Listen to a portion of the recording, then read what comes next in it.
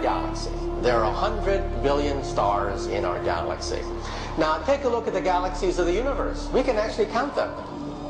In the visible universe, our telescopes have the range to see 100 billion galaxies. Well, how many stars are there in the visible universe? Count them. 100 billion times 100 billion. That is an astronomical number. You have to be supremely arrogant to believe that we are the only ones in town.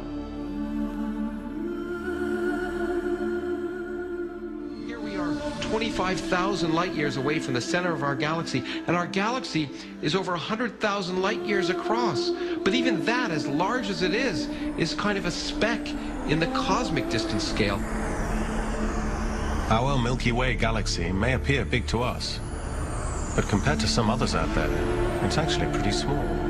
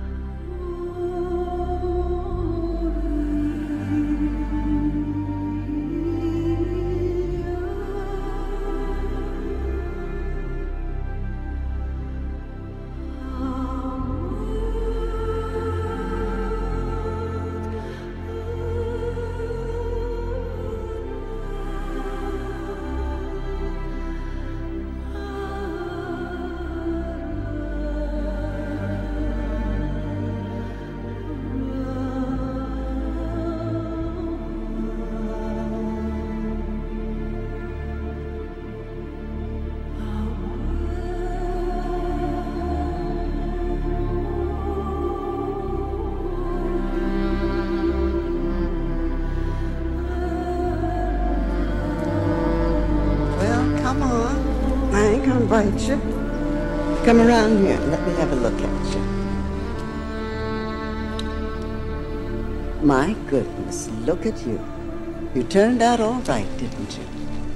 How do you feel?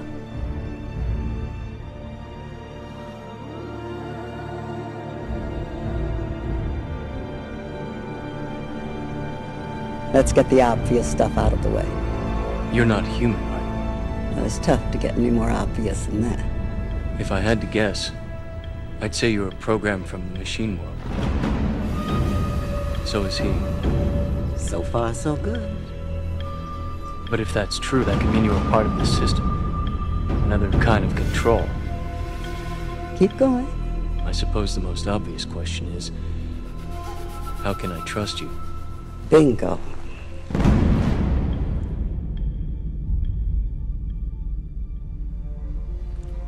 Is a pickle, no doubt about it. Bad news is there's no way if you can really know whether I'm here to help you or not. So it's really up to you. Just have to make up your own damn mind to either accept what I'm going to tell you or reject it. Candy?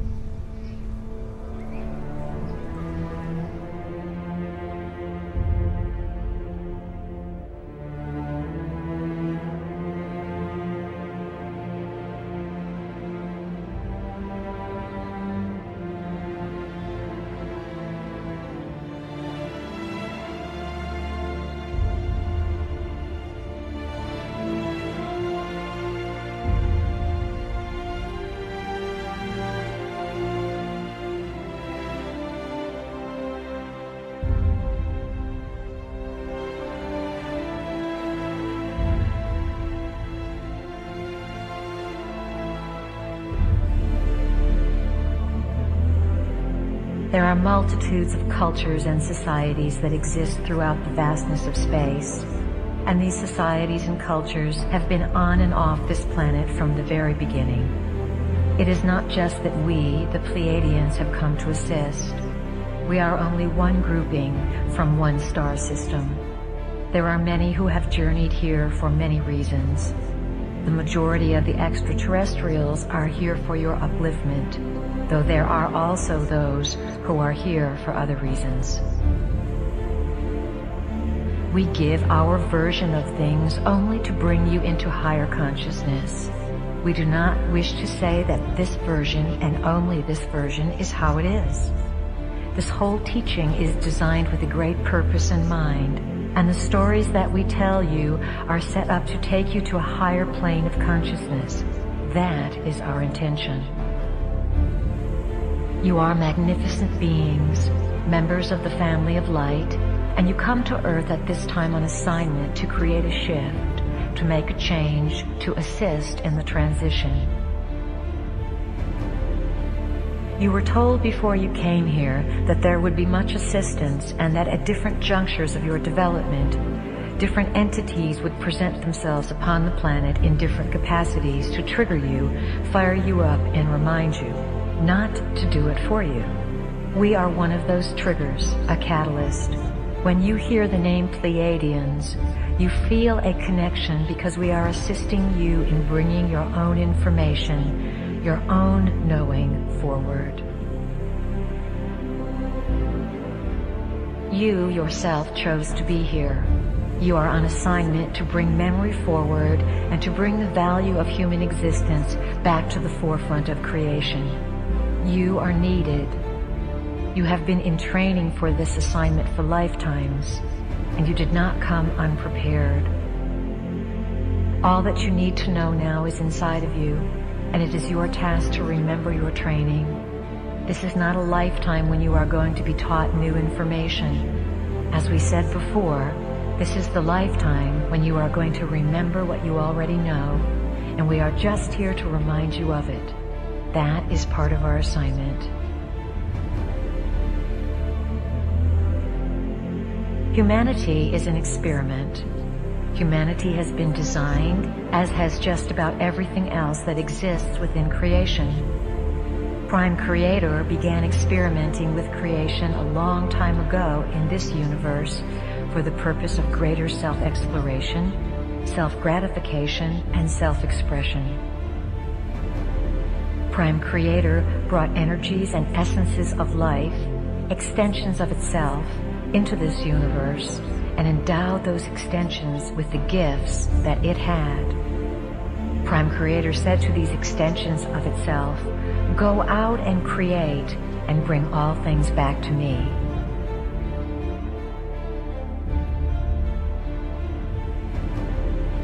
Earth was a beautiful place, located on the fringes of one of the galactic systems and easily reached from other galaxies.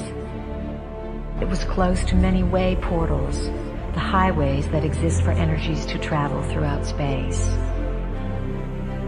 Some of the creator gods were master geneticists. The master geneticists designed various species, some human, some animal, by playing with the varieties of DNA that the sentient civilizations contributed to make Earth into this exchange center of information, this light center, this living library. The original planners of Earth were members of the family of light, beings who worked for and were associated with an aspect of consciousness called light. They designed a place where galaxies would contribute their information and where all would be able to participate and share their specific knowledge. Earth was to be a cosmic library, a place of incredible beauty that experimented with how information could be stored through frequencies and through the genetic process.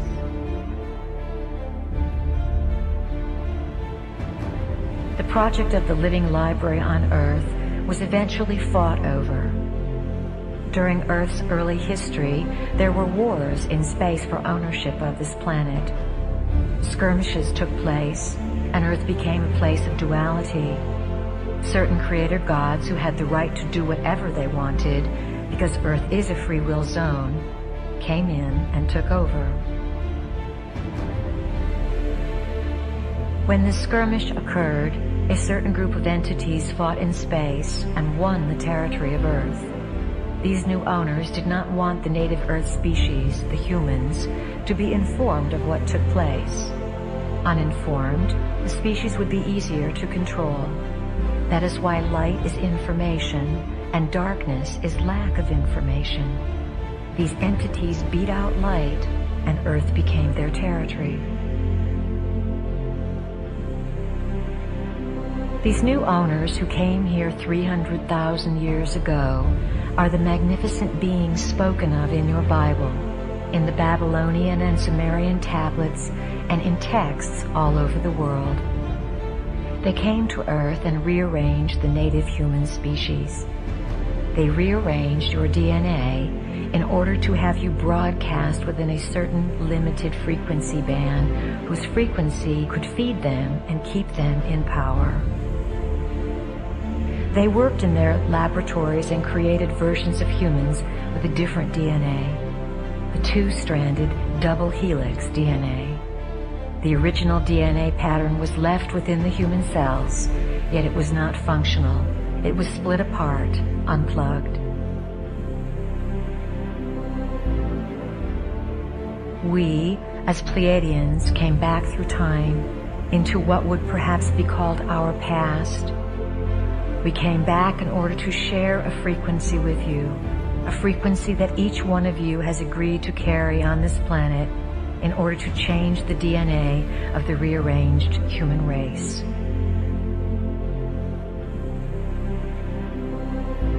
Earth is assisting, in its own way, the evolution of the universe. It is where the plan begins to blossom, and what happens on Earth is going to affect many, many worlds.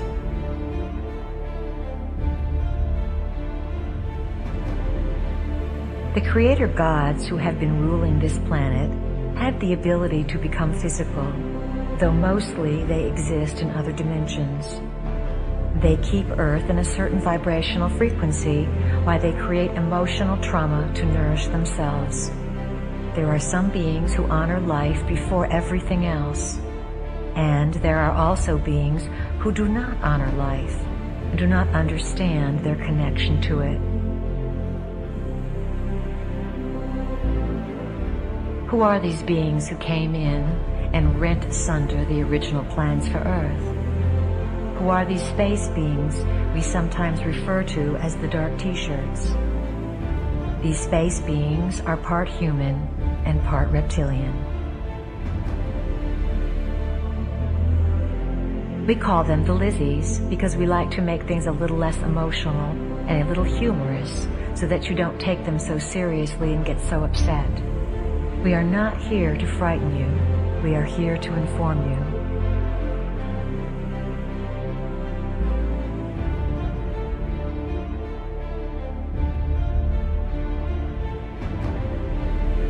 They have fed off your emotions. One of the big secrets that has been kept from you as a species is the richness and wealth that accompanies emotion. You have been steered away from exploring emotion because through emotion you can figure things out.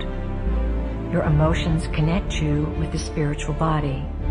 The spiritual body, of course, is non-physical, existing on the multidimensional sphere.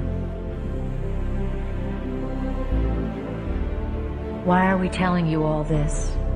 Why do you need to know it? You need to know it because the Lizzie reality is re-entering and merging with your dimension.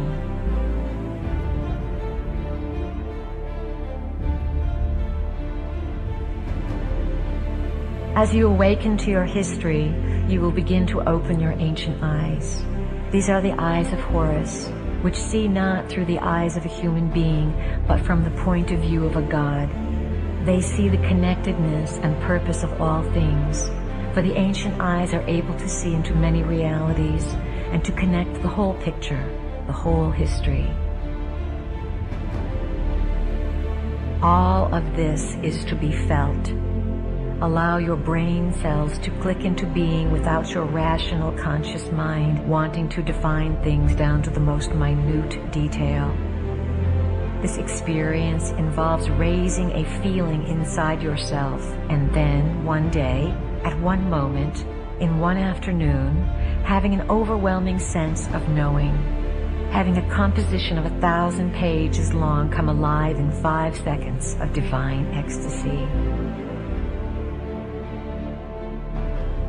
Before you came into the body, all of you committed to designing events that would fire your codings or blueprints, that would activate your memories.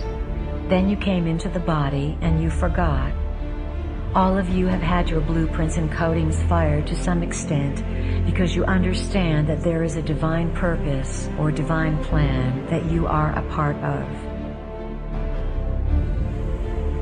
You hold the history of the universe within your physical body. What is occurring upon the planet now is the literal mutation of your physical body, for you are allowing it to be evolved to a point where it will be a computer that can house this information. The firing of the codings and the realization of your identity are going to become phenomenally intense. The reason for this is the evolving DNA. When you have 12 helixes of DNA in place, those helixes will begin to plug into the 12 chakra system. The 12 chakras are vortex centers loaded with information that you must be able to translate. You have to become super beings in whatever reality you enter because, as members of the family of light, the branch of renegades, this is your forte.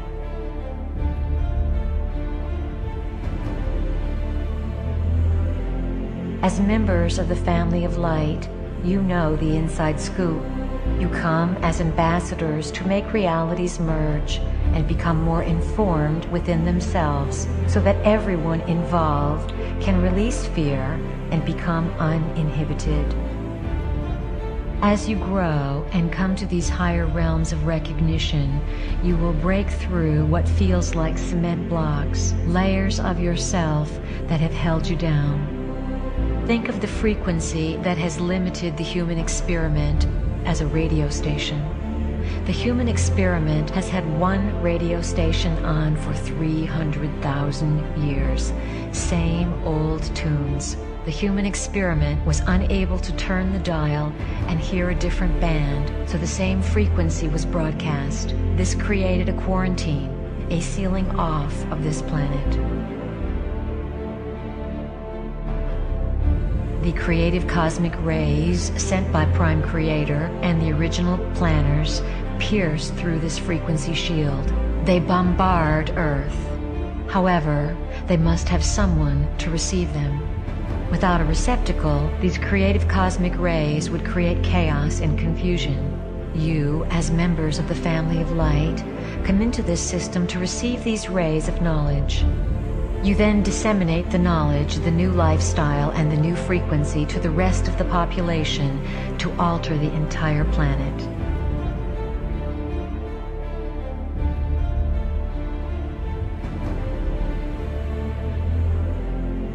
The ultimate tyranny in a society is not control by martial law. It is control by the psychological manipulation of consciousness through which reality is defined so that those who exist within it do not even realize that they are in prison. They do not even realize that there is something outside of where they exist. We represent what is outside of what you have been taught exists. It is where you sometimes venture and where we want you to dwell. It is outside of where society has told you you can live. What we want more than anything else is to assist you, as members of the family of light, to succeed in liberating the humans. Focus on the dance of yourself. To what tune will you dance, and to what magic will you perform, and to what heights will you be willing to push consciousness to give it a new definition of possibilities?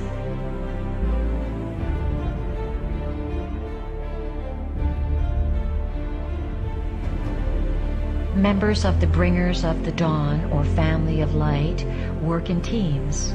You don't go into systems alone. You need each other to do this work because you cannot hold the frequency by yourself. By going in as teams, you increase the odds of successfully carrying out the plan. You are like rays and light spirals of the central sun that are very intelligent, and you are guided by a great intelligence inside the central sun. The members of the family of light are much more than human. Characteristically, you are supreme achievers in the multidimensional realm. One applies for a position in the multidimensional realm as a member of the family of light. If you were to have a business card printed up for yourselves when you are in full memory of your identity, it would say something like, Renegade member of Family of Light, Systems Buster, available for altering systems of consciousness within the free will universe. On call.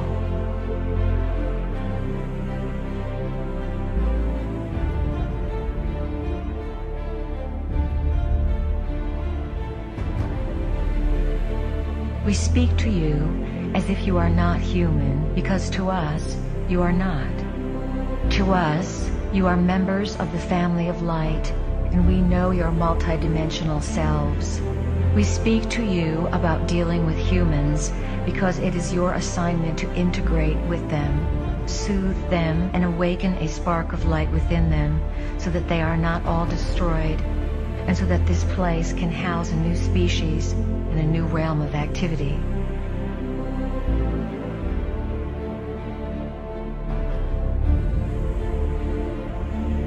Our final words include a thank you to all of you who recognize the light source that is a part of your identity and that moves you to follow the silent whispers that echo down the golden spirals through the corridors of your own being. We honor you, we recognize you, and we are here to assist you.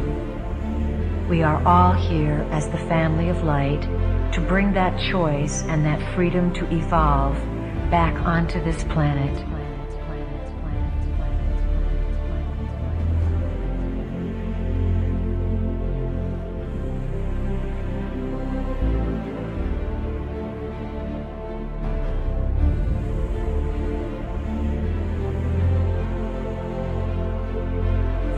Light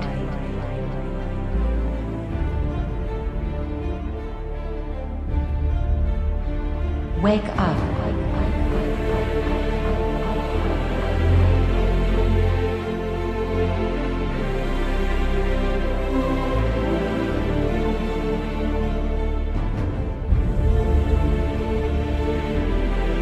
We have before us the opportunity to forge for ourselves and for future generations a new world order.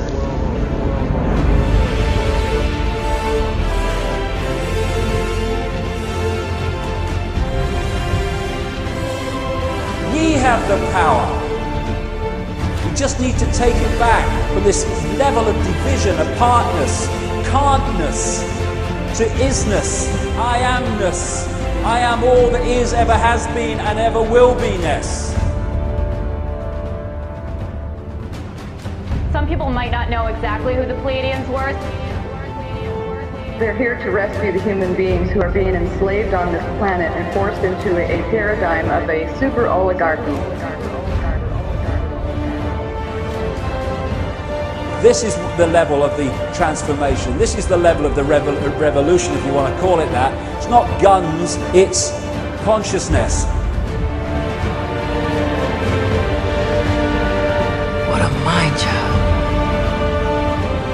So you're here to save the world. What do you say to something like that?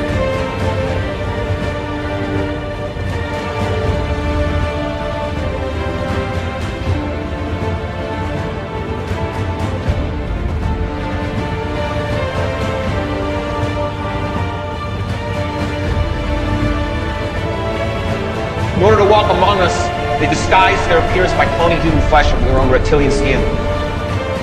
Thought everyone here was up to speed. But the visitors didn't just get here. They've been here for years.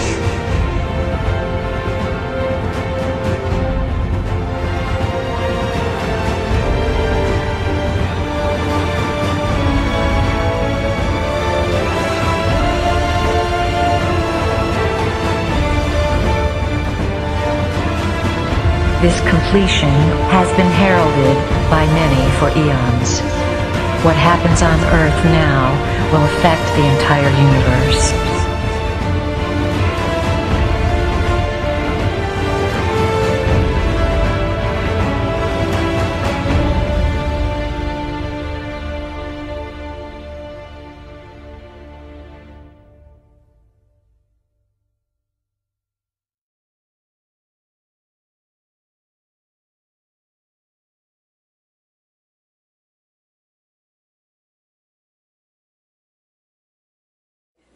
Lots of Pleiadians here. There are lots. I would say anybody who would be interested enough to watch something like this project probably is not from here, not from here, not from here, not from here, not from here, not from here, not from here, not from here, not from here, not from here, not from here, not from here, not from here, not from here, not from here, not from here, not from here, not from here, not from here.